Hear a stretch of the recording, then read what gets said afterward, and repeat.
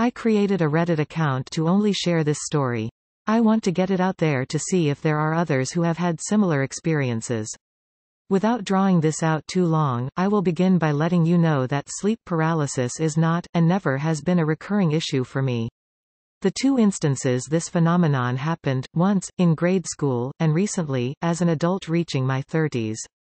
I can't remember my exact age, but I think it is safe to say I was between 10 to 12 years old at the time. It was the day before Valentine's Day and I was very sick with a fever, upset I would be missing out on my school's festivities and sweets the following day. I was sent to bed early, and terribly ill as I dozed off. Now, this flu could have attributed to my experience. I have thought about the possibility of it being some sort of fever-induced delirium, but some details following have made me not entirely positive this was the case. I must have awoken between 12 to 3 a.m., and I was laying on my side facing the wall my bed was pressed up against. I awoke with a pressing feeling of a presence in my room, and assumed it was my mother checking in on me, as my fever was pretty bad. I called out to her, and was met with silence. At this point I knew who or whatever in my room, was not my mother. Fear took over my rationality. It wasn't that I couldn't move, I was too scared to. I did manage to roll onto my back, and kept my eyes locked on my ceiling. I did not want to look at it. It was at this time I began to feel a sense of peace, and my dread dissipated. I began to feel comfort from the presence. As soon as my senses calmed, I will never forget what I saw next. A hand came into view, slowly cupping over my brow. It was not human. It was long, the digits on the hand were unusually long as well. The hand was slender, graceful, and downright creepy. It had a luminescence to it like I have never seen. As soon as it made contact with my forehead, I was out cold. The next morning I awoke in my bed, I shit you not, completely healthy. No fever. No trace of my previously drippy nose and nasty cough. I felt a strange sensation of well-being even. I went immediately to my mother's room and asked her if she had been in my room, and confused, she informed me she had not and commented on my strange behavior.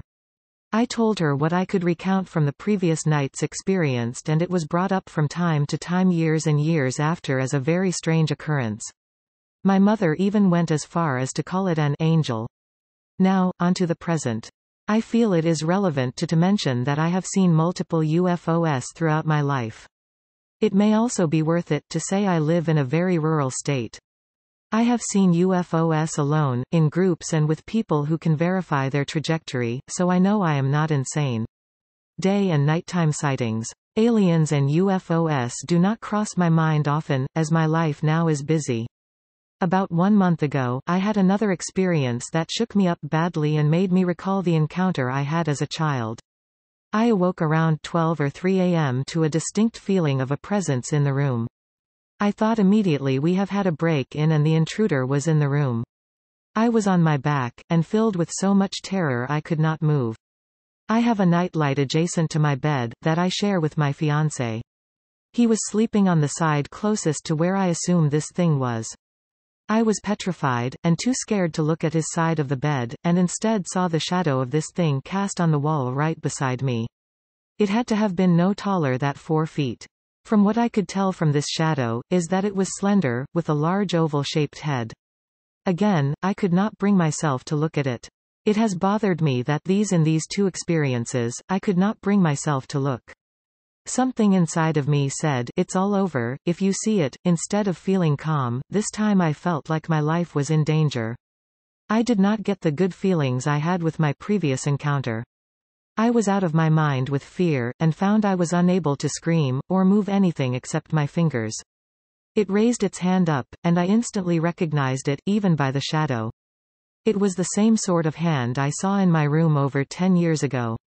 At this point I could feel my fingers pinching my fiancé's thigh, but he was not waking up. This fueled my panic. I was so scared, I actually fainted. I can't recall any dreams or details from there. The next night, I did lay in bed, with the night light on, lights off, and asked my fiancé to stand on his knees by the bed. His shadow mimicked an accurate projection placement of whatever was blocking the light the night previously. I have been deeply troubled by this since, and have no other occasions of sleep paralysis in my